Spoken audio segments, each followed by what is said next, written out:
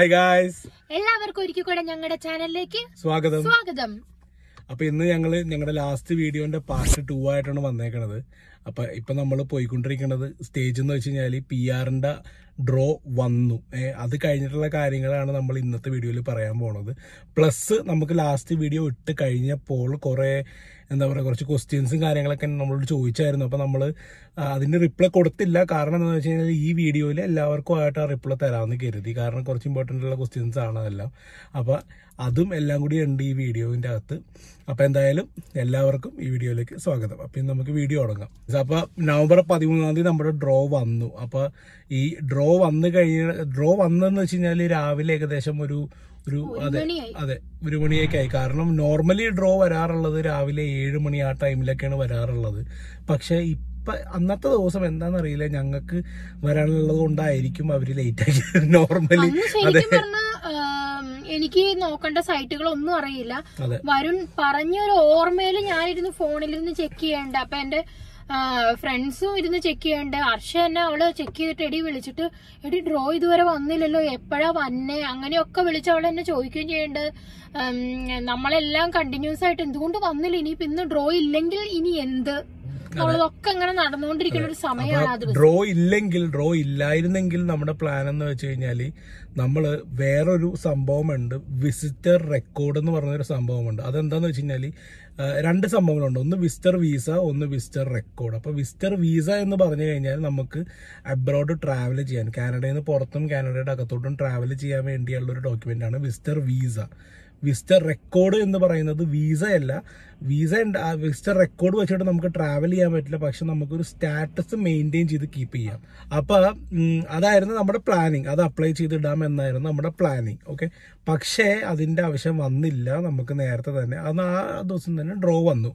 അപ്പോൾ ഡ്രോ വന്നു കഴിഞ്ഞിട്ട് എന്ന് വെച്ചാൽ ആ നേരത്ത് ഇവൾ ജോലിയിലായിരുന്നു. ഞാൻ ഞാൻ ഡ്രോ വന്നു കഴിഞ്ഞിട്ട് അതിന്റെ ഒരു ഇൻവിറ്റേഷൻ നമുക്ക് കിട്ടാനുണ്ട്. ഇൻവിറ്റേഷൻ എന്ന് പറയുന്നത് invitation to apply for permanent residency I T A എന്നാണ് അതിന്റെ എല്ലാവരും പറയണത്. അപ്പോൾ ഈ ഐ ടി എ വരാൻ വേണ്ടിയാണ് നമ്മൾ പിന്നെ കാത്തിരിക്കേണ്ടത്. ഡ്രോ വന്നു കഴിഞ്ഞാലും. ഓക്കെ അപ്പം നമ്മുടെ കാര്യത്തിൽ ഭാഗ്യമുണ്ടായെന്ന് വെച്ച് കഴിഞ്ഞാൽ അന്നത്തെ പോയിന്റ് വന്നത് ഫോർ സെവന്റി ടു എന്റെ പോയിന്റ് എന്ന് വെച്ച് കഴിഞ്ഞാൽ four seventy two same point പക്ഷേ എനിക്ക് ഒരു വൈകുന്നേരം ഏഴ് മണിയൊക്കെ ആയി കഴിഞ്ഞപ്പോഴാണ് എനിക്ക് ഇൻവിറ്റേഷൻ അവർ അയച്ചു തന്നത്. അതിന്റെ റീസൺ ഞാൻ പലവരോടും അന്വേഷിച്ച് കഴിഞ്ഞപ്പോൾ എനിക്ക് മനസ്സിലായത്. എന്ന് വെച്ച് കഴിഞ്ഞാൽ ഈ ഫോർ സെവന്റി ടു ഉള്ള ആൾക്കാർ കുറേ ഉണ്ടാവും. മനസ്സിലായില്ലേ? ഇപ്പം എന്റെ പോയിന്റ് ആ സെയിം പോയിന്റ് തന്നെയുള്ള ആൾക്കാർ കുറേ ചിലപ്പോൾ ഈ ലോകത്ത് എല്ലായിടത്തും ഉണ്ടാവും. അപ്പോൾ ഈ കുറേ ആൾക്കാരിൽ നിന്ന് അവർക്ക് കുറച്ച് ആൾക്കാരെ സെലക്ട് ചെയ്യണം. അതിന്റെ സെലക്ഷൻ ക്രൈറ്റീരിയ എന്നവർ പറയുന്നത് ആരാണ് ഏറ്റവും ആദ്യം പ്രൊഫൈൽ ഉണ്ടാക്കിയത് എന്നാണ് അതിന്റെ സെലക്ഷൻ ക്രൈറ്റീരിയ അപ്പം ഞാൻ ഉണ്ടാക്കിയത് ഏപ്രിൽ ഇരുപതാം തീയതി സംതിങ് ആണ് ഞാൻ പ്രൊഫൈൽ ഉണ്ടാക്കിയത്. അന്ന് പ്രൊഫൈൽ എന്റെ സി ഐ സിയുടെ അക്കൗണ്ടിൽ വന്ന് കിടപ്പുണ്ട്. അതുകൊണ്ട് അവർ എന്നെ ചൂസ് ചെയ്തു. ലാസ്റ്റ് പോയിന്റിൽ മാത്രമുണ്ട് പ്രശ്നം. ഫോർ സെവന്റി ടു കൂടുതലുണ്ട് ഫോർ സെവന്റി ത്രീ ഉണ്ട് ഫോർ ഉണ്ട് ഫൈവ് ഉണ്ട്. അതിപ്പോൾ തലേന്ന് ദിവസം പ്രൊഫൈൽ ഉണ്ടാക്കിയാലും കുഴപ്പമില്ല നിങ്ങളൊക്കെ സെലക്ട് ആകും. പക്ഷേ ഈ ലാസ്റ്റ് പോയിന്റ് എന്ന് വെച്ചാൽ ആ ഫോർ സെവന്റി ടു ഉള്ള ആൾക്കാർക്കാണ് ഇങ്ങനത്തെ പ്രശ്നം. അപ്പം എന്റെ കാര്യത്തിൽ ഭാഗ്യമായത് ഞാൻ ഏപ്രിലിൽ പ്രൊഫൈൽ ഉണ്ടാക്കിയിട്ടത് കൊണ്ട്. അപ്പം ഈ ഇൻവിറ്റേഷൻ വന്നു. ഇൻവിറ്റേഷൻ വന്നു കഴിഞ്ഞാൽ അപ്പോൾ തന്നെ എനിക്ക് ഇൻവിറ്റേഷൻ അക്സെപ്റ്റ് ചെയ്യണം. അക്സെപ്റ്റ് ചെയ്യാൻ വേണ്ടി ഞാൻ സി ഐ സിയിൽ ലോഗിൻ ചെയ്തു. ഞാൻ ഇൻവിറ്റേഷൻ ഞാൻ അക്സെപ്റ്റ് ചെയ്തു. അപ്പോൾ അതിന്റെ അകത്ത് അക്സെപ്റ്റ് ചെയ്ത് കഴിയുമ്പോൾ അപ്പോൾ തന്നെ വേറൊരു ക്വസ്റ്റിനെയറും കാര്യങ്ങളൊക്കെ ഉണ്ട്. ആ ക്വസ്റ്റിനെയറും കാര്യങ്ങളൊക്കെ നമ്മൾ ഫില്ല് ചെയ്യണം. നമ്മുടെ കുറച്ച് ഡീറ്റെയിൽസും കാര്യങ്ങളൊക്കെ അതിന്റെ അകത്ത് അടിച്ചടിച്ച് കൊടുക്കണം. അതൊക്കെ കഴിഞ്ഞ് കഴിയുമ്പോൾ ഒരു ലിസ്റ്റ് ഓഫ് ഡോക്യുമെന്റ്സ് അപ്ലോഡ് ചെയ്യാനുള്ള ഒരു ഇത് തെളിഞ്ഞു വരും. ആ ലിസ്റ്റ് ഓഫ് ഡോക്യുമെന്റ്സ് ഞാനിപ്പോൾ നിങ്ങളുടെ സ്ക്രീനിൽ കാണിച്ചു തരാം. എന്തൊക്കെ ഡോക്യുമെന്റ്സ് ആണ് അവർ എന്നോട് ചോദിച്ചത് എന്ന് ഞാൻ ഇപ്പോൾ കാണിച്ചു തരാം. ഓക്കെ അപ്പം അത് കാണുമ്പോൾ നിങ്ങൾക്ക് മനസ്സിലാകും. അതിന്റെ അകത്ത് ഓരോ എന്താ പറയുക ഓരോരോ ഡോക്യുമെന്റ്സ് ഉണ്ട്. അത് അവർ ചോദിക്കും നിങ്ങൾക്ക് സ്കാൻ ചെയ്ത് അപ്ലോഡ് ചെയ്യാൻ പറ്റുമോ? എന്നൊക്കെ നമുക്ക് ഓപ്ഷൻ ഉണ്ട്. അപ്പോൾ നമുക്ക് ജസ്റ്റ് മൊബൈലിൽ സ്കാൻ ചെയ്യുക എന്നിട്ട് അത് അപ്ലോഡ് ചെയ്യുക അത്രേ ഉള്ളൂ. വേറെ ഒന്നുമില്ല. അപ്പോൾ അതിന്റെ അകത്ത് നമ്മുടെ സർട്ടിഫിക്കറ്റ്സും കാര്യങ്ങളും പിന്നെ എന്റെ മാർക്ക് ലിസ്റ്റും പിന്നെ അങ്ങനെ കുറേ എന്താ പറയുക എന്റെ പാസ്പോർട്ടിന്റെ കോപ്പി പിന്നെ പോലീസ് ക്ലിയർ സർട്ടിഫിക്കറ്റ് എന്റെ മെഡിക്കൽ സർട്ടിഫിക്കറ്റ് അങ്ങനെയുള്ള കാര്യങ്ങളെല്ലാം ആണ് നമുക്ക് അതിന്റെ അകത്ത് ഉൾപ്പെടുത്തേണ്ടത്. പ്ലസ് ഇവളുടെയും ഒരു സെക്ഷനും കൂടി ഉണ്ട്. അതിന്റെ അകത്ത് ജസ്റ്റ് ഡീറ്റെയിൽസ് മാത്രം കൊടുത്താൽ മതി. അതിന്റെ അകത്ത് വേറെ ഒന്നുമില്ല പിന്നെ അതേപോലെ തന്നെ ഞങ്ങൾക്ക് വേറൊരു കാര്യം എന്താ പറയാ എളുപ്പമായി എത്ര വേഗത്തിൽ ഞങ്ങൾക്ക് ആ ഇൻവിറ്റേഷൻ വന്നപ്പോൾ തന്നെ ഞങ്ങൾക്ക് എല്ലാം ജസ്റ്റ് അപ്ലോഡ് ചെയ്ത് എല്ലാം ചെയ്യാൻ എളുപ്പത്തിൽ സാധിച്ചത് ഓൾറെഡി വരുൺ എല്ലാം സെറ്റ് ചെയ്ത് ലാപ്ടോപ്പിൽ എല്ലാ ഡോക്യുമെന്റ്സും എല്ലാം സെറ്റ് ചെയ്ത് വെച്ചിട്ടുണ്ടായിരുന്നു. ജസ്റ്റ് ഇൻവിറ്റേഷൻ മാത്രം ഞങ്ങൾക്ക് കിട്ടിയാൽ മതിയായിരുന്നു. ബാക്കി എല്ലാം നമ്മുടെ കയ്യിലുണ്ട്. ഈ പി ആറിന് വേണ്ടിയിട്ട് നമ്മൾ രണ്ടുപേർക്കും അപ്ലൈ ചെയ്തപ്പോൾ പി ആറിന് വേണ്ടിയിട്ട് ഞങ്ങൾ മെഡിക്കൽ പോയി ചെയ്തു. മെഡിക്കലിന് ഏകദേശം എത്ര രൂപയായി? രണ്ടുപേർക്കും കൂടെ മുന്നൂറ്റിയോ? സംതിങ് ആയി. സംതിങ് ആയി. പിന്നെ അതേപോലെ പോലീസ് ക്ലിയറൻസ് ഞങ്ങൾ രണ്ടുപേരും കൂടെ കൂടി ചെയ്തു. അന്നത്തെ വീഡിയോ നമ്മൾ ടൊറന്റോയിൽ ഇട്ടത്. ഇട്ടിട്ടുണ്ടായിരുന്നു. അതിന് ഏകദേശം നൂറ്റിയാണ്. ഒരാൾക്ക് തൊണ്ണൂറ്. അല്ല ഒരാൾക്ക് തൊണ്ണൂറ്. തൊണ്ണൂറ് വെച്ചിട്ട് അതിനായി. അപ്പൊ അത് ചെയ്തു വെച്ചിട്ടുണ്ടായിരുന്നു. അപ്പൊ നമ്മൾ എന്താ ഇപ്പൊ ഇൻവിറ്റേഷൻ ആ പോലീസ് ക്ലെയിം സർട്ടിഫിക്കറ്റ് എന്ന് വെച്ച് കഴിഞ്ഞാൽ ഇന്ത്യയിലെ ഇന്ത്യയിലെ പോലീസ് ക്ലെയിം സർട്ടിഫിക്കറ്റ് ആണ് അതാണ് നമുക്ക് അവർ തരാൻ പോണത് അപ്പൊ ഇത് ചെയ്തു വെച്ചുകൊണ്ടുള്ള ഉപകാരം എന്താണെന്ന് വെച്ചാൽ ഇപ്പൊ ഞങ്ങളുടെ കേസ് പറഞ്ഞല്ലോ. ഞങ്ങൾക്ക് പതിമൂന്നാം തീയതി ഇൻവിറ്റേഷൻ കിട്ടി. പതിനാലാം തീയതി പന്ത്രണ്ട് മണിയോടെ ഞങ്ങളുടെ വർക്ക് ചെയ്യാനുള്ള വർക്ക് പെർമിറ്റ് ഞങ്ങളുടെ തീരുകയാണ് അപ്പൊ ഞങ്ങൾ ഇൻവിറ്റേഷൻ കിട്ടണ വരെ വെയിറ്റ് ചെയ്തായിരുന്നു ഈ സംഭവങ്ങളൊക്കെ ചെയ്യാനെങ്കിൽ ഞങ്ങൾക്ക് ജോലിയിൽ നിന്ന് പോവേണ്ടി വന്നേനെ. ഞങ്ങൾ ഇതൊക്കെ നേരത്തെ ചെയ്തു വെച്ചത് ചിലപ്പോ കൊണ്ട് പി ആറിന് അപ്ലൈ ചെയ്യാൻ പറ്റും. കാരണം ഇൻവിറ്റേഷൻ എന്തായാലും വന്നിട്ടുണ്ടല്ലോ. പക്ഷെ ജോലിയും പോവും വർക്ക് പെർമിറ്റും പോവും പിന്നെ വർക്ക് പെർമിറ്റ് റിന്യൂ ചെയ്യാൻ പറ്റാത്ത അവസ്ഥകൾ അങ്ങനെയൊക്കെ ഉണ്ട്. അപ്പൊ ഈ സാധനങ്ങളെല്ലാം അപ്ലോഡ് ചെയ്ത് കഴിഞ്ഞിട്ട് പിന്നീട് എന്താ പറയാ ഒരു ആയിരത്തി എൺപത്തി അഞ്ച് ഡോളർ. അല്ല സോറി ആയിരത്തി നാൽപ്പത് ഡോളർ. ആയിരത്തി നാൽപ്പത് ഡോളർ. ഒരാൾക്ക് പി ആറിന് അപ്ലൈ ചെയ്യാൻ. പക്ഷെ ഇപ്പൊ അത് മാറി കേട്ടോ. കാരണം ഡിസംബർ നാലാം തീയതിക്ക് ശേഷം ബയോമെട്രിക്സ് എന്ന് പറയുന്ന ഒരു സംഭവമുണ്ട് ഡിസംബർ നാലാം തീയതിക്ക് ശേഷം ബയോമെട്രിക്സ് കാനഡയിൽ ഉള്ള ആൾക്കാർക്ക് നിർബന്ധമാക്കിയിരിക്കുകയാണ്. അതാണ് നമുക്കത് വേണ്ടായിരുന്നു. ഞങ്ങൾക്കത് വേണ്ടായിരുന്നു. കാരണം ഞങ്ങൾ നവംബർ പതിനാലാം തീയതി ആയിരുന്നു അപ്പൊ ഈ ബയോമെട്രിക്സിന്റെ ഫീസും കൂടി ഇപ്പൊ അവർ അതിന്റെ അകത്ത് ഉൾപ്പെടുത്തുന്നുണ്ട്. എന്റെ ഫ്രണ്ട്സിനൊക്കെ അങ്ങനെയാണ് ഇപ്പൊ വന്നേക്കണത്. ബയോമെട്രിക്സിന്റെ ഫീസ് പ്ലസ് ഈ ആയിരത്തി നാൽപ്പത് ബയോമെട്രിക്സിന് something I think eighty five അങ്ങനെ എന്തോ ആണ്. അപ്പൊ ഇതിന്റെ എന്താണെന്ന് വെച്ച് കഴിഞ്ഞാൽ അവർ പിന്നെ നിങ്ങൾക്ക് റിക്വസ്റ്റ് അയക്കും. റിക്വസ്റ്റ് അയച്ചു കഴിഞ്ഞ് ബയോമെട്രിക്സ് നമ്മൾ സർവീസ് ഒണ്ടാരിയോ സർവീസ് കാനഡയിൽ പോയി ചെയ്യണം. ചെയ്ത് കഴിയുമ്പോൾ അതിന്റെ ഒരു നമ്പർ സംതിങ് കിട്ടും. ആ നമ്പർ ഇതിന്റെ അകത്ത് അവർ നമ്മൾ ആഡ് ചെയ്യുക ആഡ് ചെയ്ത് കഴിഞ്ഞ് കഴിഞ്ഞാൽ പിന്നീട് നമ്മുടെ പ്രൊഫൈലെല്ലാം എല്ലാം റെഡിയായി എന്നാണ് അവർ പറയുന്നത്. അപ്പോൾ ഈ ഒരു സംഭവമാണ് ഇപ്പോൾ പുതിയതായിട്ട് വന്നേക്കുന്ന ഒരു അപ്ഡേഷൻ അപ്പം ഞങ്ങളുടെ സമയത്ത് അത് ഉണ്ടായിരുന്നില്ല. ഓക്കെ അപ്പോൾ ഇത് ഈ പി ആറിന് അപ്ലൈ ചെയ്യാൻ വേണ്ടി മാത്രമല്ല ഇപ്പോൾ സ്വാതിക്ക് വിസക്ക് അപ്ലൈ ചെയ്യാനും ഇപ്പോൾ ഇനി അവളെ ഇനി സ്പോൺസർ ചെയ്യണം അതിന് വേണ്ടി വരും. പ്ലസ് അവളുടെ വിസ വിസ ഉണ്ട്. ഇപ്പോൾ വിസ ഇല്ല വർക്ക് പെർമിറ്റ് കിട്ടി. പക്ഷേ ഇപ്പോൾ വിസ ഇല്ല അപ്പോൾ വിസക്ക് വേണ്ടി വേണ്ടി വരും. അപ്പോൾ അതിനെല്ലാത്തിനും ഈ ബയോമെട്രിക്സ് വേണം. അപ്പോൾ അത് ഐ തിങ്ക് ഒരു ഒരു ബയോമെട്രിക്സ് ഒരു പ്രാവശ്യം എടുത്തു കഴിഞ്ഞാൽ പത്ത് കൊല്ലത്തേക്ക് വാലിഡിറ്റി ഉണ്ട് എന്നാണ് ഞാൻ അറിഞ്ഞത്. മെഡിക്കലും ഒക്കെ ഒരു അതെ മെഡിക്കലും പോലീസ് ക്ലീൻ സർട്ടിഫിക്കറ്റും അതെ ഒരു വർഷത്തേക്ക് ഉള്ളൂ.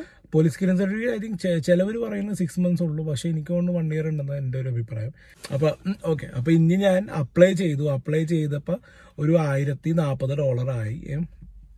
വേറെ ടാക്സും കാര്യങ്ങളൊന്നും ഇല്ല. ഓക്കെ അപ്പൊ ടൈം ഏകദേശം കൊടുത്ത് നമ്മൾ ഏഴരക്ക് സ്റ്റാർട്ട് ചെയ്തു അപ്ലൈ ചെയ്യാൻ. അതെ ഏഴരയ്ക്ക് സ്റ്റാർട്ട് ചെയ്തു. എല്ലാം ടൈപ്പ് ചെയ്ത് ഉണ്ടാക്കണം കാരണം ഡോക്യുമെന്റ്സ് ഒക്കെ എടുത്തു വെച്ചു. പക്ഷേ ഈ ഫോം ഒന്നും നമുക്ക് കിട്ടിയിട്ടില്ലല്ലോ. ഫോം ഒക്കെ അതിന്റെ അകത്ത് നമുക്ക് പിന്നെ നമ്മൾ ഡൗൺലോഡ് ചെയ്ത് എടുക്കണം എന്ന് വെച്ച് കഴിഞ്ഞാൽ ആ ഒരു ലിസ്റ്റ് ഓഫ് ഡോക്യുമെന്റ്സിൽ ഫോമും കൂടി ഉണ്ട് പി ഡി എഫ് എന്ന് പറഞ്ഞു. അപ്പോൾ P D F format download ചെയ്യുക അതിന്റെ അകത്ത് കാര്യങ്ങളൊക്കെ ടൈപ്പ് ചെയ്ത് എല്ലാം റെഡിയാക്കാം ഓക്കെ അപ്പോൾ ഇത്രയുള്ള സംഭവങ്ങൾ അത് അപ്ലൈ ചെയ്ത് കഴിഞ്ഞപ്പോഴത്തേക്ക് ഏകദേശം രണ്ട് രണ്ട് രണ്ടരയില്ല? ഒന്നരയായി ശരിക്കും പറഞ്ഞ. ഒന്നരയായി. പി ആറിന് അപ്ലൈ ചെയ്ത് നമ്മൾ സബ്മിറ്റ് ചെയ്ത് നമുക്കൊരു ഒരു ഡോക്യുമെന്റും കിട്ടി. വരുന്നുണ്ട് പി ആറിന് അപ്ലൈ ചെയ്തു എന്ന് പറഞ്ഞൊരു ഇത് നമ്മുടെ സി എൽ സിയുടെ ഒരു അക്കൗണ്ടിൽ അവർ അത് എന്താ പറയാ എ ഒ ആർ അങ്ങനെ എന്തോ അക്നോളജ്മെന്റ് ഓഫ് റെസീപ്റ്റ് അങ്ങനെ എന്തോ ഒരു സംഭവം ഉണ്ട്. കിട്ടി. അതെ എല്ലോ ആർ എനിക്കത് ഓർമ്മയില്ല. എന്താ പേര്. അതെ ഞങ്ങൾ മെൻഷൻ ചെയ്യാം. അപ്പൊ ആ ഒരു ഒരു നമ്പർ ഉണ്ട് അതിന്റെ അകത്ത്. ആ ഒരു നമ്പറാണ് ശരിക്കും വേണ്ടത് ഓക്കെ അല്ലെങ്കിൽ ഒരു ലെറ്റർ ഉണ്ട്. ആ ഒരു ലെറ്ററാണ് വേണ്ടത്. അപ്പൊ ഈ ലെറ്റർ വളരെ ഇമ്പോർട്ടന്റ് ആണ്. ഈ ലെറ്റർ ഉണ്ടെങ്കിലേ ഞങ്ങൾക്ക് വർക്ക് പെർമിറ്റിന് അപ്ലൈ ചെയ്യാൻ പറ്റൂ. ഏ എന്ന് വെച്ച് ബ്രിഡ്ജ് വർക്ക് പെർമിറ്റ് ഞാൻ പറയണത് ബ്രിഡ്ജ് വർക്ക് പെർമിറ്റ് എന്ന് വെച്ച് കഴിഞ്ഞാൽ നമുക്ക് പി ആറിന് അപ്ലൈ ചെയ്ത സമയം തൊട്ട് പി ആർ കിട്ടുന്നത് വരെയുള്ള സമയം ഓക്കെ അപ്പോൾ അതിനിടയിൽ വർക്ക് പെർമിറ്റ് തീർന്നു പോയി കഴിഞ്ഞാൽ അല്ലെങ്കിൽ ഇപ്പോൾ വർക്ക് പെർമിറ്റ് തീർന്നു പോയി പി ആറിന് അപ്ലൈ ചെയ്യണവർ എന്ത് ചെയ്യും എന്നറിയാത്തവർക്കുള്ള ഒരു കാര്യമാണ് ബ്രിഡ്ജ് വർക്ക് പെർമിറ്റ് എന്നുള്ള സംഭവം. എന്ന് വെച്ച് കഴിഞ്ഞാൽ ഒരു പാലം ക്രിയേറ്റ് ചെയ്യുക അത്രേ ഉള്ളൂ മനസ്സിലായില്ലേ? അപ്പോൾ ആ ബ്രിഡ്ജ് വർക്ക് പെർമിറ്റിനാണ് ഞങ്ങൾക്ക് ഇനി അപ്ലൈ ചെയ്യേണ്ടത്. അപ്പോൾ അതിനാണ് അതിന് വേ അതിന് അപ്ലൈ ചെയ്യണമെങ്കിൽ ഒന്ന് പി ആറിന്റെ ഈ പി ആറിന് അപ്ലൈ ചെയ്ത നമ്പർ അല്ലെങ്കിൽ ലെറ്റർ വേണം. അല്ലെങ്കിൽ പി എൻ പി കിട്ടി പി എൻ പി എന്നൊരു സംഭവം ഉണ്ടല്ലോ. ആ പി എൻ പി കിട്ടി എന്നുള്ളൊരു ലെറ്റർ വേണം. ഈ രണ്ട് സംഭവങ്ങൾ ഉണ്ടെങ്കിൽ മാത്രമേ വർക്ക് പെർമിറ്റ് എക്സ്റ്റെൻഡ് ചെയ്യാൻ പറ്റത്തുള്ളൂ. ഓക്കെ അപ്പോൾ ഈ ഒരു സംഭവം ഈ ഒരു സംഭവം ഞങ്ങളൊക്കെ എടുത്തു വെച്ചു എല്ലാം കിട്ടി. അപ്പോൾ ഈ വർക്ക് പെർമിറ്റിന്റെ ആണെങ്കിലും അതുപോലെ തന്നെ നമ്മൾ ക്വസ്റ്റ്യനെയർ ഒക്കെ അടിച്ചുണ്ടാക്കണം. ഞാൻ ഈ പറഞ്ഞ പോലെ സി ഐ സിയിലെ അക്കൗണ്ടിൽ ഇതുപോലെ തന്നെ ക്വസ്റ്റ്യനെയർ അപ്പോൾ ഞാൻ ഞാനാണ് പ്രൈമറി അപ്ലിക്കന്റ് ഓക്കെ അപ്പോൾ ഞാൻ ക്വസ്റ്റ്യനെയർ എന്റെ വർക്ക് പെർമിറ്റ് ഇല്ല ഇവളുടെ വർക്ക് പെർമിറ്റ് ഇല്ല. അപ്പോൾ ഞാൻ ക്വസ്റ്റ്യനെയർ ഒക്കെ അടിച്ചുണ്ടാക്കി എല്ലാം ചെയ്ത് എല്ലാം ഫുള്ളും കാര്യങ്ങളൊക്കെ ടൈപ്പ് ചെയ്ത് ഇതുപോലെ തന്നെ കുറേ ലിസ്റ്റ് ഓഫ് ഡോക്യുമെന്റ്സ് വന്നു. ആ ലിസ്റ്റ് ഓഫ് ഡോക്യുമെന്റ്സിൽ കുറേ സർട്ടിഫിക്കറ്റ്സും കാര്യങ്ങളൊക്കെ അപ്ലോഡ് ചെയ്യാനുണ്ടായിരുന്നു. അപ്പോൾ അവർ അതിന്റെ ഇടയിൽ വേറൊരു ക്വസ്റ്റ്യൻ കൂടി ഉണ്ട്. ആർ യു അപ്ലൈയിങ് എലോൺ ഏ എന്ന് പറഞ്ഞ ക്വസ്റ്റ്യൻ അപ്പം ഞാൻ നോ എന്ന് കൊടുത്തു. ഏ അപ്പം അതിന്റെ അർത്ഥം ഞാൻ വേറെ ആരായിട്ട് അപ്ലൈ ചെയ്യുന്നുണ്ട്. അപ്പം സ്പൗസിന് വേണ്ടിയാണ് അപ്ലൈ ചെയ്യുന്നത് പറഞ്ഞുള്ളൊരു ഓപ്ഷൻ ഉണ്ട്. അത് ഞാൻ കൊടുത്തു. അത് കൊടുത്തു കഴിഞ്ഞപ്പോൾ സ്പൗസിന്റെ ഡീറ്റെയിൽസ് ഇവളുടെ ഡീറ്റെയിൽസും കാര്യങ്ങളും എല്ലാം അപ്ലോഡ് ചെയ്യാൻ പറഞ്ഞു. പിന്നെ സ്പൗസിന്റെ വർക്ക് പെർമിറ്റിന്റെ എക്സ്പയറി ഡേറ്റും അങ്ങനെയുള്ള കാര്യങ്ങളെല്ലാം അപ്ലോഡ് ചെയ്യാൻ പറഞ്ഞു. ഓക്കെ അപ്പം ഇതൊക്കെ അപ്ലോഡ് ചെയ്ത് കഴിഞ്ഞപ്പം രണ്ട് അപ്ലിക്കേഷൻ ക്രിയേറ്റ് ആയി. ഓക്കെ എന്റെ സി ഐ സിയുടെ അക്കൗണ്ടിൽ രണ്ടെണ്ണം ക്രിയേറ്റ് ആയി. ഒന്ന് വരുൺ സുധാകരൻ എന്ന് പറഞ്ഞൊരു അപ്ലിക്കേഷൻ പിന്നെ ഒന്ന് സ്വാതി ജയകുമാർ എന്ന് പറഞ്ഞ വേറൊരു അപ്ലിക്കേഷൻ അപ്പം ഒരു പ്രൊഫൈലിൽ തന്നെ എന്ന് വെച്ചാൽ എന്റെ ഒരൊറ്റ പ്രൊഫൈലിൽ തന്നെ രണ്ട് അപ്ലിക്കേഷൻ രണ്ട് ആൾക്കാരുടെ ക്രിയേറ്റ് ആയി. അത് ഇതുപോലെ തന്നെ ഞാൻ എല്ലാം അപ്ലോഡ് ചെയ്തു. അത് അപ്ലോഡ് ചെയ്യാൻ സഹായിച്ചത് എന്തുകൊണ്ടാണ്? ഞാൻ നേരത്തെ തന്നെ ആ സാധനങ്ങളൊക്കെ സോർട്ട് ഔട്ട് ചെയ്ത് വെച്ചത് കൊണ്ട് നമുക്കറിയാം. പിന്നെ പ്ലസ് പി ആറിന് അപ്ലൈ ചെയ്തപ്പോൾ ഞാൻ അവരെന്നോട് ചോദിച്ച കുറേ ചോദ്യങ്ങൾ ആ ആപ്ലിക്കേഷനിൽ ചോദിച്ച കുറേ ചോദ്യങ്ങൾ അതൊക്കെ തന്നെയാണ് ഈ വർക്ക് പെർമിറ്റിന്റെ അപ്ലിക്കേഷനിലും ചോദിച്ചത്. അതുകൊണ്ട് അതൊക്കെ വളരെ ഈസി ആയി പെട്ടെന്ന് എന്തോ നമ്മുടെ എഡ്യൂക്കേഷൻ ഇവർക്ക് മന്ത് പീരീഡ് ഡേറ്റ് ഭയങ്കര നമുക്ക് സത്യം പറഞ്ഞാൽ?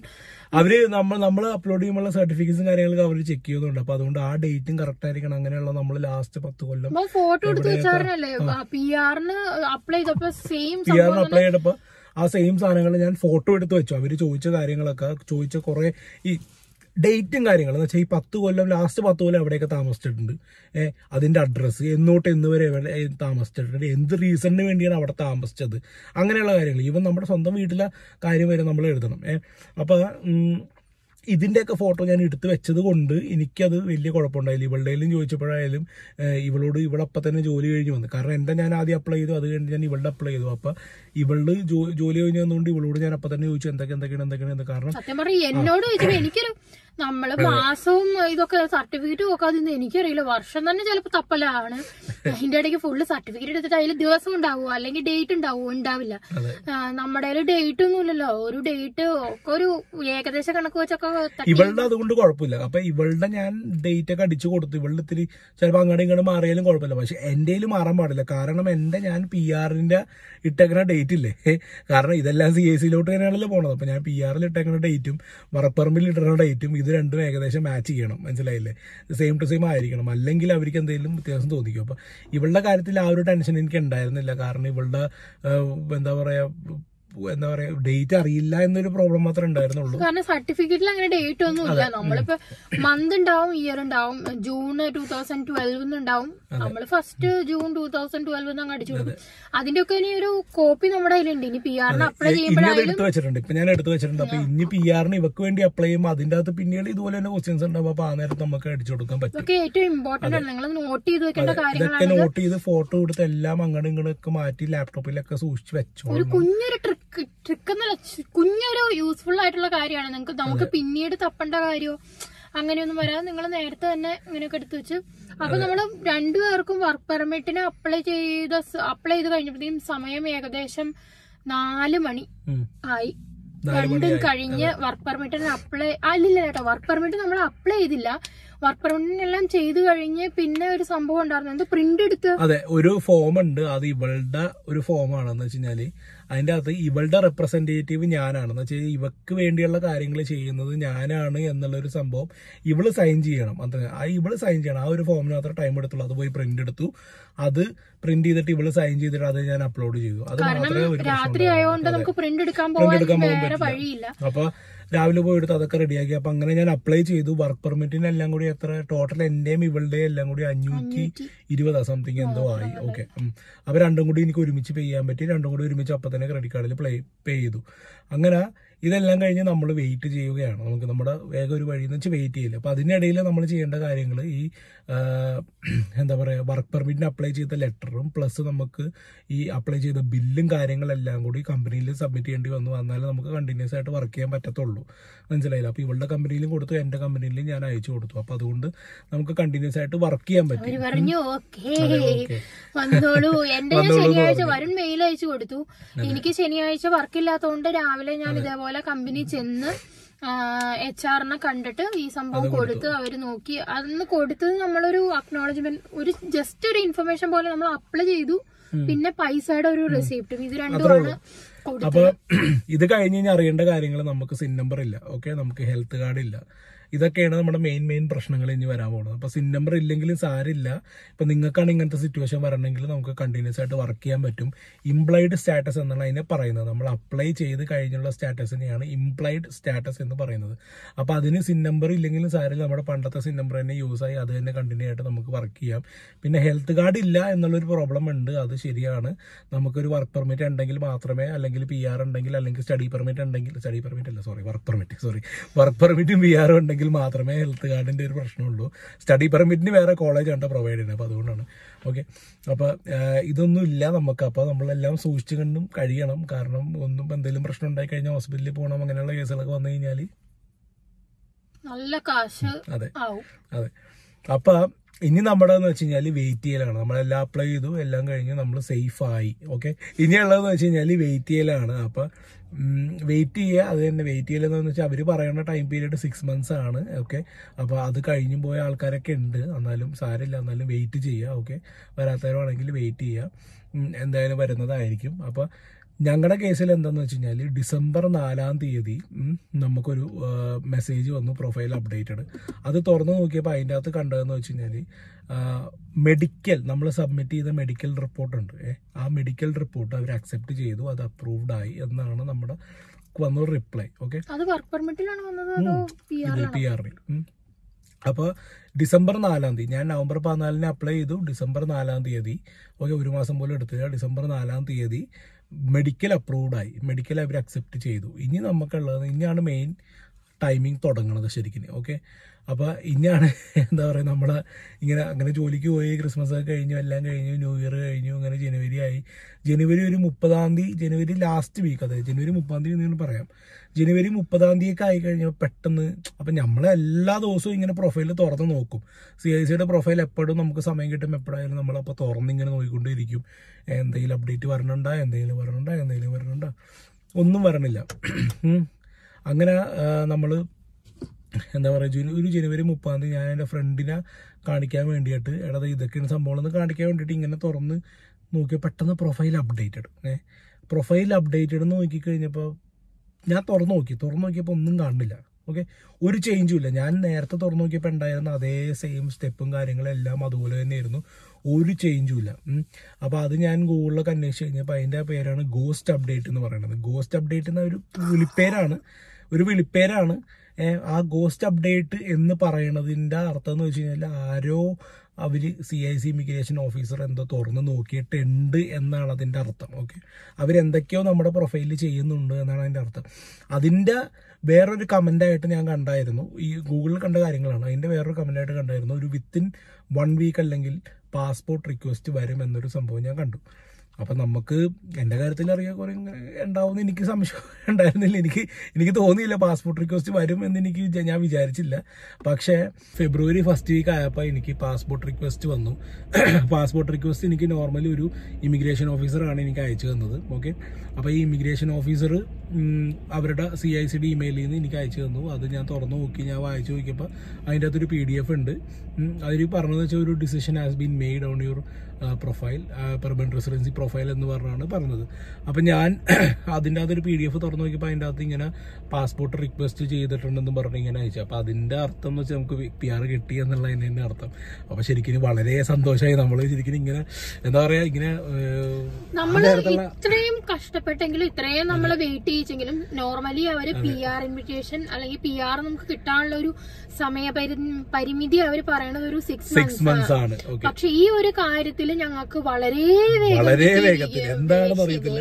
വളരെ വേഗം. വിത്തിൻ രണ്ട് രണ്ടര മാസം. എല്ലാം കൂടി വേണമെങ്കിൽ രണ്ടര മാസം എന്ന് പറയാം. രണ്ടര മാസത്തിൽ എല്ലാം ചടപടയെന്നൊക്കെ ശരിയായി. അപ്പൊ ശരിക്കും ശരിക്കും സന്തോഷം കയറിയിട്ടുണ്ട് നമുക്കൊരു രക്ഷയില്ല. അന്നാണ് ഞാൻ രാത്രി പാസ്പോർട്ട് റിക്വസ്റ്റ് വന്ന ദിവസം ഞാൻ ഇങ്ങനെ സന്തോഷിച്ചിങ്ങനെ ഇരിക്കുകയാണ്. ഇവൾ ജോലിക്ക് പോയി. ഞാൻ പിന്നെ വീട്ടിലിരിക്കുകയാണ്. അങ്ങനെ ഞാൻ കിടന്ന് ഉറങ്ങി. ഉറങ്ങി. പിന്നെ എണീറ്റില്ല. പിന്നെ രാത്രി പതിനൊന്ന് മണിയൊക്കെ ആയപ്പോ ഇവൾ ജോലിയിൽ നിന്ന് വന്നിട്ട് താഴത്ത് വെയിറ്റ് ചെയ്തിരിക്കുകയായിരുന്നു അതെ ഇതൊക്കെ പറഞ്ഞ കാര്യങ്ങളല്ല. അപ്പൊ ഇനി നമ്മുടെ പാസ്പോർട്ട് റിക്വസ്റ്റ് വന്നതിന് ശേഷം നമ്മുടെ അടുത്ത കടമ എന്താന്ന് വെച്ച് കഴിഞ്ഞാൽ പാസ്പോർട്ട് അയച്ചു കൊടുക്കുക. അപ്പൊ പാസ്പോർട്ട് അയച്ചു കൊടുക്കണതിന് നമ്മളിങ്ങനെ കാനഡ പോസ്റ്റിൽ പോയിട്ട് ഒരു എന്താ പറയുക എക്സ്പ്രസ് എക്സ്പ്രസ് എന്ന് പറഞ്ഞൊരു സംഭവം ഉണ്ട്. ആ സംഭവം ഒരു ഇതാണ് ഒരു കവറാണത്. അത് മേടിക്കുക. അതിന്റെ അകത്ത് നമ്മൾ പാസ്പോർട്ട് ഇടുക പിന്നെ പ്ലസ് ഈ ലെറ്റർ ഇടുക പിന്നെ ഒരു ഫോം എന്താ ഫില്ലപ്പ് ചെയ്യണം. പ്ലസ് നമ്മുടെ രണ്ട് ഫോട്ടോ ഉണ്ട് ഈ രണ്ട് കാര്യങ്ങളൊക്കെ ഇടണം. അപ്പോൾ ഇത്രയും സംഭവങ്ങളൊക്കെ ഇട്ട് കഴിഞ്ഞിട്ട് നമ്മൾ എന്താ പറയുക പാസ്പോർട്ട് അയച്ചു കൊടുക്കുക. അവർ പറയുന്ന അഡ്രസ്സിലോട്ട് ഓക്കെ അതൊക്കെ അഡ്രസ്സിലോട്ട് അയച്ചു കൊടുത്ത് അവിടെ പാസ്പോർട്ട്. അപ്പോൾ ഇതൊക്കെ നമുക്ക് ട്രാക്ക് ചെയ്യാൻ പറ്റും. ഓക്കെ അപ്പോൾ അതിന്റെ അകത്ത് പ്ലസ് വേറൊരു എൻവലപ്പും കൂടി ഇടണം. കാരണം പാസ്പോർട്ട് അവർ തിരിച്ചയച്ചു തരും നമുക്ക്. ഓക്കെ എല്ലാം സ്റ്റാമ്പ് ചെയ്തത്. അപ്പോൾ ഈ പാസ്പോർട്ട് നമ്മൾ അയച്ചു കൊടുത്തു. അതവിടെ കിട്ടി. ഓക്കെ അവർ റിസീവ് ചെയ്തു. പിന്നെ ഒരു ഒരു ഐ തിങ്ക് ഒരു വൺ ആൻഡ് ഹാഫ് വീക്സ് എടുത്തു അല്ലേ? ഏ അതെ. അത്രയും എടുത്തു. അത്രയും എടുത്തപ്പോഴേക്കും അവർ പാസ്പോർട്ട് നമുക്ക് തിരിച്ചിങ്ങോട്ട് അയച്ചു തന്നു. ഓക്കെ അപ്പോൾ തിരിച്ചയച്ചു തന്നപ്പോൾ പാസ്പോർട്ടിന്റെ അകത്ത് ഉണ്ടായിരുന്ന ചേഞ്ചസ് എന്തൊക്കെയാണെന്ന് വെച്ച് കഴിഞ്ഞാൽ ഒന്ന് ഒരു വിസ ആ വിസ എന്താണെന്ന് വെച്ച് കഴിഞ്ഞാൽ വൺ ടൈം എൻട്രി വിസയാണ് ഓക്കെ അപ്പോൾ എന്റെ ബാക്കി എല്ലാ വിസകളും എക്സ്പയർ ആണ് എല്ലാം തീർന്നിരിക്കുകയാണ് അപ്പോൾ ഇതെന്ന് വെച്ച് കഴിഞ്ഞാൽ ഒരു one time entry visa okay? ആ വിസ എന്താണെന്ന് വെച്ച് കഴിഞ്ഞാൽ നമുക്ക് കാനഡയിലോട്ട് വൺ ടൈം മാത്രമേ എൻട്രി ഉള്ളൂ. എന്നാണ് അതിന്റെ അർത്ഥം. ഓക്കെ അപ്പോൾ ഈ വിസയുടെ ഒപ്പം നമുക്ക് കിട്ടിയത് സി ഒ പി ആർ എന്ന് പറഞ്ഞൊരു പേപ്പറാണ് okay? Confirmation of permanent residency എന്ന് പറഞ്ഞൊരു പേപ്പർ അപ്പോൾ അതുപോലത്തെ രണ്ട് പേപ്പർ നമുക്ക് കിട്ടി. അപ്പോൾ ഈ രണ്ട് പേപ്പറും പ്ലസ് ഈ പാസ്പോർട്ടും കൂടി കിട്ടി ഓക്കെ? അപ്പോൾ ഈ പാസ്പോർട്ടിന്റെ അകത്തുള്ള വിസ നമുക്ക് വൺ ടൈം എൻട്രി വിസ ഇത് നമുക്ക് നമുക്ക് ഇനി പി ആർ ഈ ഒരു സി ഒ പി ആർ എന്ന് പറഞ്ഞാൽ കൺഫർമേഷൻ ഓഫ് പെർമനന്റ് റെസിഡൻസി എന്ന് പറയുന്ന ഒരു പേപ്പർ കിട്ടിയാൽ മാത്രം പോരാ എന്ന് മാത്രം അങ്ങനെയല്ല പി ആർ ആകുന്നത്. പ്ലസ് വേറെ രണ്ട് ഒരു ഓപ്ഷൻ ഒരു ഒരു വഴിയും കൂടി ഉണ്ട്. എന്ന് വെച്ചാൽ ഒരു സംഭവം കൂടി ചെയ്യാനുണ്ട് നമുക്ക്. അതെന്താന്ന് വെച്ച് കഴിഞ്ഞാൽ ഒന്നില്ലെങ്കിൽ നമ്മുടെ അടുത്തൊരു ഇമിഗ്രേഷൻ ഓഫീ ഓഫീസ് ഉണ്ടാവും. കിച്ചൺ ഡോർ അല്ലെങ്കിൽ ഇപ്പം ഞങ്ങളുടെ ഇവിടെ കിച്ചൺ ഡോറാണ് മിസ്സസ് ആഗ് അങ്ങനെ കുറേ സ്ഥലങ്ങളിലൊക്കെ ഉണ്ട്. ഒന്നില്ലെങ്കിൽ നമ്മൾ അവിടെ വിളിച്ചൊരു അപ്പോയിൻമെന്റ് എടുത്തിട്ട് ഇങ്ങനെ പറയാ സി ഒ പി ആർ കിട്ടി നമുക്ക് പി ആറിന് ആകണം അങ്ങനെയുള്ള സംഭവങ്ങൾ. അപ്പോൾ അതിന് നമ്മൾ എപ്പോഴാണ് വരേണ്ടത് എന്നുള്ളൊരിത്. ഓക്കെ? അപ്പോൾ അവരൊരു ഡേറ്റ് പറയും. അല്ലെങ്കിൽ നമുക്ക് ചെയ്യാവുന്നത് ബോർഡറിലോട്ട് പോകാം ഓക്കെ ഇപ്പം നയഗര ബോർഡർ ഉണ്ട് സെർണിയ ബോർഡർ ഉണ്ട്. ബോർഡറിലോട്ട് പോയിട്ട് കാനഡ ബോർഡർ ക്രോസ് ചെയ്യുക കാനഡ ബോർഡർ ക്രോസ് ചെയ്ത് കഴിഞ്ഞിട്ട് തിരിച്ച് കയറണം അപ്പോൾ കാനഡ ബോർഡർ ക്രോസ് ചെയ്തിട്ട് യു എസിലോട്ട് പോവുക യു എസിലോട്ട് പോയി തിരിച്ച്. അപ്പോൾ ഞാൻ ചെയ്തത് അങ്ങനെയാണ്. കാരണം നമ്മൾ അപ്പോയിന്റ്മെന്റ് എടുത്ത് ബാക്കിയെല്ലാം ചെയ്യുമ്പോൾ കുറേ ടൈം എടുക്കും ഓക്കെ അപ്പോയിന്റ്മെന്റ് ഒക്കെ എടുത്ത് അപ്പോയിന്റ്മെന്റ് കിട്ടാൻ ടൈം എടുക്കും. അപ്പോൾ അത് ഞാൻ നോക്കിയൊന്നുമില്ല. ഞാൻ പകരം സെർണിയയിലോട്ട് പോയി അവിടെ ചെന്ന് യു എസ് ക്രോസ് ചെയ്തു ഓക്കെ യു എസ് ക്രോസ് ചെയ്ത് അവിടെ നിന്ന് അവർ തിരിച്ച് നമ്മൾ ഇങ്ങോട്ടേക്ക് കയറ്റി വിട്ടു ഓക്കെ അപ്പം ഞാൻ അവരോട് പറഞ്ഞു ഞാൻ യു എസ് സി പോകണില്ല എനിക്ക് യു എസ് വിസ ഉണ്ട്. പക്ഷേ ഞാൻ യു എസിലോട്ട് പോകണില്ല ഫ്ലാഗ് പോൾ എന്നാണ് ഇതിന്റെ പേര്. ഈ ഒരു പ്രോസസ്സിന്റെ പേരാണ് ഫ്ലാഗ് പോൾ ഓക്കെ അപ്പോൾ ഇത് ചെയ്യാൻ വേണ്ടിയാണ് വന്നേക്കണതെന്ന് പറഞ്ഞു. അപ്പോൾ അങ്ങനെ ഞാൻ തിരിച്ച് കാനഡയിലോട്ട് വന്നു. അങ്ങനെ ഇമിഗ്രേഷൻ ഓഫീസറെ കണ്ടു. അവരോട് അവർക്ക് എന്റെ ഡോക്യുമെൻസ് ഒക്കെ സബ്മിറ്റ് ചെയ്തു. അവർ അപ്പോൾ ഈ സി ഒ പി ആർ എന്ന് പറഞ്ഞ പേപ്പർ ഞാൻ പറഞ്ഞില്ല? ഈ പേപ്പർ രണ്ടെണ്ണം ഉണ്ട്. ഓക്കെ ഒരെണ്ണത്തിൽ എന്റെ ഫോട്ടോ ഉണ്ടായിരുന്നു. ഒരെണ്ണത്തിൽ ഫോട്ടോ ഉണ്ടായിരുന്നില്ല. ഓക്കെ അപ്പോൾ ഈ C O P R photo ഉള്ള അവരെന്നെ കൊണ്ട് സൈൻ ചെയ്യിച്ചു. ആ ഇമിഗ്രേഷൻ ഓഫീസർ സൈൻ ചെയ്തു. അപ്പോൾ ഈ രണ്ട് പേപ്പറിലും അവർ എന്നെ സൈൻ ചെയ്തു. ഒരു പേപ്പർ എനിക്ക് തിരിച്ചു തന്നു ഒരു പേപ്പർ അവർ വെച്ചു. ഓക്കെ അപ്പോൾ ഈ രണ്ട് പേപ്പറിലും എന്താ പറയുക ഇട്ടേക്കണ ഡേറ്റ് രണ്ടായിരത്തി ഇരുപത് ഫെബ്രുവരി ഇരുപതാം തീയതി എന്നാണ് ഇട്ടേക്കണത്. ഓക്കെ അപ്പോൾ ഈ ദിവസമാണ് ഞാൻ പി ആർ ആയത്. ഓക്കെ അതാണ് ഇതിന്റെ പ്രത്യേകത. അല്ലാണ്ട് എനിക്ക് പാസ്പോർട്ട് റിക്വസ്റ്റ് വന്ന ദിവസമല്ല ഞാൻ പി ആർ ആയത്. ഈ ഒരു ഡേറ്റ് ഇതാണ് മെയിൻ സംഭവം. ഇതാണ് ആ ഇമിഗ്രേഷൻ ഓഫീസ് അല്ലെങ്കിൽ ഒരു ഓഫീസിൽ ചെയ്യാൻ പോണ കാര്യവും ഇത് തന്നെയാണ്. അവർ നമ്മൾ അവർ സൈൻ ചെയ്യും പ്ലസ് നമ്മളും സൈൻ ചെയ്യും. എന്നിട്ട് അവർ പറയും welcome to Canada now you are a permanent resident of Canada എന്ന് പറയും. ഇപ്പോഴാണ് നമ്മൾ പി ആർ ആകുന്നത്. അപ്പോൾ ഇതായിരുന്നു എന്റെ കഥ. ഫെബ്രുവരി ഇരുപതാം തീയതി ഇരുപതാം തീയതിയാണ് ഞാൻ പി ആർ ആയത്. അപ്പോൾ അത് കഴിഞ്ഞിട്ട് നമ്മൾ ചെയ്യേണ്ട കാര്യങ്ങളാണ്. പിന്നെ സിൻ നമ്പർ പുതുക്കണം. ഏഹ് അപ്പം എന്റെ സിൻ നമ്പറൊക്കെ മാറി. ഇപ്പം ഏത് വർക്ക് പെർമിറ്റിൽ വന്ന ഒരാളാണെങ്കിലും ഏത് സ്റ്റുഡന്റ് ആണെങ്കിലും എന്താണെങ്കിലും സിൻ നമ്പർ തുടങ്ങണത് നയൻ വെച്ചിട്ടായിരിക്കും. ഓക്കെ? ഇപ്പം എന്റെ സിൻ നമ്പർ തുടങ്ങണത് ഫൈവ് വെച്ചിട്ടാണ്. മനസ്സിലായില്ലേ?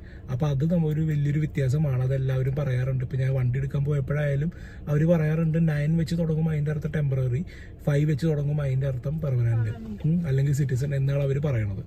അപ്പോൾ ഇപ്പം ആ ഒരു കാര്യങ്ങളൊക്കെ നന്നായി മാറി. പ്ലസ് നമുക്കിനി ചെയ്യേണ്ടത് ഹെൽത്ത് കാർഡ് റിന്യൂ ചെയ്യാം. അപ്പോൾ എന്റെ ഹെൽത്ത് കാർഡും റിന്യൂ ആയി. ഓക്കെ അപ്പോൾ എന്റെ സിൻ നമ്പർ എന്റെ ഹെൽത്ത് കാർഡ് ഇതൊക്കെയാണ് മെയിൻ കാര്യങ്ങൾ നമുക്ക് ഇവിടെ വേണ്ട ആവശ്യങ്ങൾ. ഓക്കെ അപ്പം ഇതൊക്കെ ഇത് ചെയ്യണതിന്റെ ഇടയിൽ വേറൊരു സംഭവം കൂടി അപ്പുറത്ത് നടക്കണുണ്ടായിരുന്നു. വർക്ക് പെർമിറ്റ് ഓക്കെ അപ്പോൾ എല്ലാവരും വിചാരിക്കുന്നുണ്ടാവും ഞാൻ പി ആറിന് അപ്ലൈ ചെയ്തു പക്ഷെ വർക്ക് പെർമിറ്റിനും കൂടി അപ്ലൈ ചെയ്തായിരുന്നു അന്നത്തെ ദിവസം. അതെന്തായി? ഓക്കെ ആ സംഭവം അപ്രൂവ് ആയായിരുന്നു. ഏ അത് ഈ പാസ്പോർട്ട് റിക്വസ്റ്റ് വന്നിട്ട് ഞാൻ പാസ്പോർട്ട് അയച്ചു കൊടുത്തില്ല. അതിന്റെ ഇടയിൽ ആ ഒരു കാലാവധി പോയോ ഒന്നര ആഴ്ച ഞാൻ വെയിറ്റ് ചെയ്യുന്നുണ്ട് പാസ്പോർട്ട് തിരിച്ചയച്ചു തരാൻ വേണ്ടി ഒന്നര ആഴ്ച ഞാൻ വെയിറ്റ് ചെയ്തു. ഓക്കെ ആ ഒന്നര ആഴ്ചയുടെ ഇടയിൽ വർക്ക് പെർമിറ്റ് അപ്രൂവ് ആയി. വർക്ക് പെർമിറ്റ് എനിക്ക് അവർ അയച്ചു തന്നായിരുന്നു. അപ്പോൾ വർക്ക് പെർമിറ്റ് എന്റെയും കൂടി അപ്രൂവ് ആയി പ്ലസ് ഇവളുടെയും കൂടി അപ്രൂവ് ആയി. ഓക്കെ അപ്പോൾ അതുകൊണ്ട് ആ ഒരു സംഭവം എല്ലാം റെഡിയായി അങ്ങനെ ഇവളുടെ വർക്ക് പെർമിറ്റ് അപ്രൂവ് ആയി. ഇവളുടെയും സിൻ നമ്പർ റിന്യൂ ചെയ്തു. അപ്പോൾ ഞങ്ങൾ രണ്ടുപേരും ഒരുമിച്ചാണ് റിന്യൂ ചെയ്യാൻ പോയത്. ഇവളുടെ സിൻ നമ്പർ റിന്യൂ ആയി. അപ്പോൾ ഇവളുടെ സിൻ നമ്പറിന് വാലിഡിറ്റി ഉണ്ട്. ഇവളുടെ വർക്ക് പെർമിറ്റിന്റെ വാലിഡിറ്റി എന്ന് വെച്ചാൽ വൺ ഇയർ ആണ്. ഓക്കെ എന്റെ സിൻ നമ്പറിന് വാലിഡിറ്റി ഇല്ല. എനിക്കിപ്പോൾ ഇനി എന്റെ ജീവിതകാലം മൊത്തം അതേ സിൻ നമ്പർ തന്നെ ആയിരിക്കും. എന്റെ ഹെൽത്ത് കാർഡിനാണെങ്കിലും ഐ തിങ്ക് ഹെൽത്ത് കാർഡിന് വാലിഡിറ്റി ഉണ്ട്. ഒരു ത്രീ ഇയേഴ്സ് വാലിഡിറ്റി എന്തോ ഉണ്ട്. അപ്പോൾ ഇനി ഇവയ്ക്കുള്ള കാര്യം എന്ന് വെച്ചാൽ ഹെൽത്ത് കാർഡ് എടുക്കാം. അപ്പൊ ഇതാണ് നമ്മുടെ പി ആറിന്റെ പാർട്ട് ടു എന്ന് പറയണത്. ഓക്കെ അപ്പൊ പി ആർ ഇപ്പൊ ഏകദേശം കിട്ടി. ഏകദേശം ഒന്നുമില്ല പി ആർ കിട്ടി. അല്ല ഏകദേശം എന്ന് വേണമെങ്കിൽ പറയണം. കാരണം എന്താ വെച്ച് കഴിഞ്ഞാൽ പി ആറിന്റെ ഒരു കാർഡ് ഉണ്ട്. ആ കാർഡ് ഞാൻ അടുത്ത വീഡിയോയിൽ എപ്പോഴെങ്കിലും ഞാൻ കാണിച്ചു തരാം.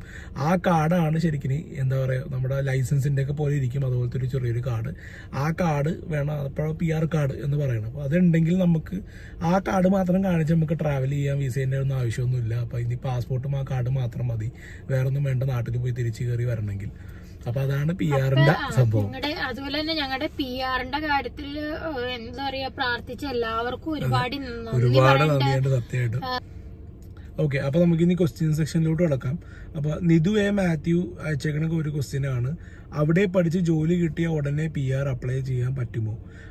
ജോലി കിട്ടിയ ഉടൻ തന്നെ പി ആറിന് അപ്ലൈ ചെയ്യാൻ പറ്റില്ല. ജോലി കിട്ടി അറ്റ്ലീസ്റ്റ് ഒരു വൺ ഇയർ എക്സ്പീരിയൻസ് നേടിക്കഴിഞ്ഞാലേ നമുക്ക് പി ആറിന്റെ പ്രൊഫൈൽ ഉണ്ടാക്കാൻ പറ്റുകത്തുള്ളൂ അതാണ് ഞാൻ പറഞ്ഞ C I C profile okay അപ്പോൾ വൺ ഇയർ എക്സ്പീരിയൻസ് ഉണ്ടെങ്കിൽ മാത്രമേ പി ആറിന്റെ ഇപ്പൊ എക്സാമ്പിൾ ഡിസംബറിൽ ജോലിക്ക് ജോയിൻ ചെയ്തു. ജോയിനിങ് ഡേറ്റ് ഡിസംബർ ആണെങ്കിൽ ഡേറ്റ് നോക്കേണ്ട ആവശ്യമില്ല മന്ത് നോക്കിയാൽ മതി. ഓക്കെ ഡിസംബറിലാണ് ജോയിനിങ് എങ്കിൽ ഒരു നവംബർ ആകുമ്പോഴേക്ക് നമുക്ക് പ്രൊഫൈൽ ഉണ്ടാക്കാം. ഓക്കെ ഇപ്പോൾ ഒരു ഒക്ടോബറിലാണ് ഉണ്ടാക്കുന്നതെങ്കിൽ പ്രൊഫൈൽ ഇന്നെലിജിബിൾ എന്നവർ എഴുതി കാണിക്കും. പക്ഷെ നവംബർ ആകുമ്പോഴേക്ക് നമ്മുടെ പ്രൊഫൈലെല്ലാം അപ്ഡേറ്റ് ആയിട്ട് മാറും. ഓക്കെ അപ്പോൾ അതാണ് ജോബ് ബി ലെവൽ ജോബും വേണം. അത് അതെ ബി ലെവൽ ജോബും വേണം. അതെ. പിന്നെ അടുത്തതെന്ന് വെച്ചാൽ വരും ടു ഇയർ കോഴ്സാണ് എടുത്തത്. ഞാൻ ടു ഇയർ കോഴ്സാണ് എടുത്തത്. ത്രീ ഇയർ സ്റ്റേ ബാക്ക് കാണില്ലേ? പിന്നെ എന്താണ് പി ആറിന് അപ്ലൈ ചെയ്യാൻ ഇത്രയും ലേറ്റ് ആയത് എന്നൊരു ചോദ്യം. അതെ ശരിയാണ്. ലേറ്റ് ആയി. എല്ലാവർക്കും ഉള്ളൊരു ഡൗട്ടാണ് ശരിയാണ്. ഒരുപാട് ലേറ്റ് ആയി. കാരണം നമുക്കിതിനെ നമുക്ക് ഇതിനെക്കുറിച്ചൊന്നും ആദ്യമൊന്നും അറിയത്തില്ലായിരുന്നു.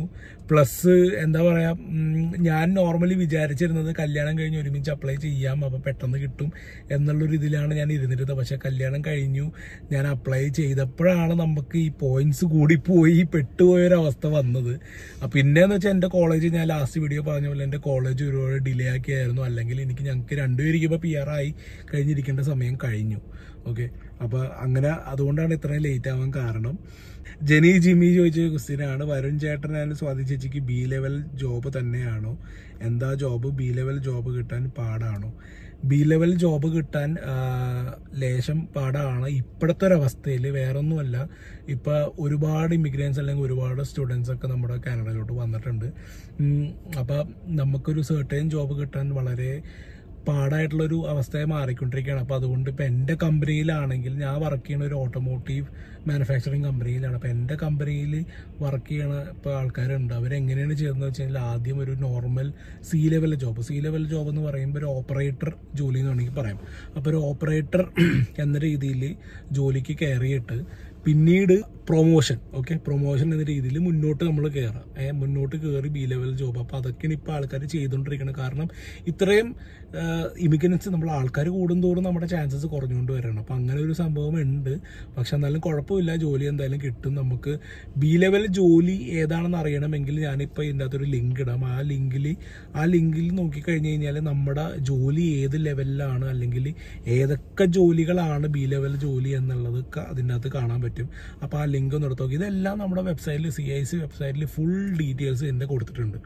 ഓക്കെ അപ്പോൾ ഇതാണ് സെക്കൻഡ് ക്വസ്റ്റ്യൻ പിന്നെ ഈ അടുത്ത ക്വസ്റ്റ്യൻ ചോദിച്ചേക്കണ ആരതി നായരാണ്. അപ്പോൾ ആരതി നായർ ചോദിച്ച ക്വസ്റ്റ്യൻ എന്ന് വെച്ച് കഴിഞ്ഞാൽ ചേട്ടാ ഈ വർക്ക് പെർമിറ്റ് എക്സ്റ്റൻഷൻ പറ്റില്ലേ?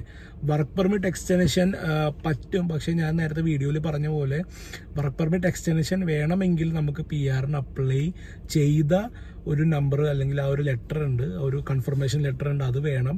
അല്ലെങ്കിൽ നമ്മുടെ പി എൻ പിക്ക് അപ്ലൈ ചെയ്ത് പി എൻ പി അപ്രൂവ് ആയ ഒരു കൺഫർമേഷൻ ലെറ്റർ ഇത് രണ്ടും ഉണ്ടെങ്കിലേ നമുക്ക് വർക്ക് പെർമിറ്റിന് അപ്ലൈ ചെയ്യാൻ പറ്റൂ. അപ്പോൾ അതെ sorry work permit extension work permit എക്സ്റ്റൻഷന്റെ പേരാണ് ബ്രിഡ്ജ് ഓപ്പൺ വർക്ക് പെർമിറ്റ് ഇതിന് അപ്ലൈ ചെയ്യാൻ പറ്റും. ഇത് ത്രീ ഇയർ അല്ലെങ്കിൽ ടു ഇയർ അല്ലെങ്കിൽ വൺ ഇയർ അല്ലെങ്കിൽ ത്രീ ഇയർ വർക്ക് പെർമിറ്റ് ഉള്ള ആൾക്കാർക്കാണ് ഇങ്ങനത്തെ ഒരു പ്രശ്നം. കാരണം അത് തീർന്നു കഴിഞ്ഞാൽ എന്ത് ചെയ്യണം എന്നുള്ളത്. അപ്പോൾ ഗൈസ് ഇതൊക്കെയാണ് നമ്മുടെ സോറി എന്റെ പോകുന്ന എന്തൊക്കെ പോലെ ഇരിക്കുന്നുണ്ട്. അവ ശരിക്കും ഇരുട്ടി വെളിച്ചം. ഫുള്ള് പോയി നമ്മൾ ഈ വണ്ടിയുടെ വെളിച്ചത്തിൽ ഇരിക്കണത്. അപ്പൊ എന്തായാലും നമ്മൾ ഇനി അധികം കണ്ടിന്യൂ ചെയ്യണില്ല. അപ്പൊ എന്തായാലും അടുത്ത എന്താ പറയുക സോറി ഈ വീഡിയോ എല്ലാവർക്കും ഇഷ്ടപ്പെട്ടു എന്ന് വിചാരിക്കുന്നത് അപ്പൊ ഇതാണ് നമ്മുടെ പി ആറിന്റെ സ്റ്റോറി ഇനി ഇതിന്റെ അകത്ത് എന്തെങ്കിലും ഡൗട്ടും കാര്യങ്ങളൊക്കെ ഉണ്ടെങ്കിൽ എന്തായാലും ചോദിക്കാൻ മടിക്കരുത്. ഒരു കുഴപ്പമില്ല. അപ്പോൾ അപ്പൊ എന്തായാലും ഇനി അധികം വലിച്ചു നീട്ടണില്ല നമ്മളെന്തായാലും ഇനി ചെല്ലട്ടെ. അതെ അടുത്തൊരു വീഡിയോയിൽ വീഡിയോയിൽ കാണുന്ന കണ്ടവരെ എല്ലാവരോടും ബൈ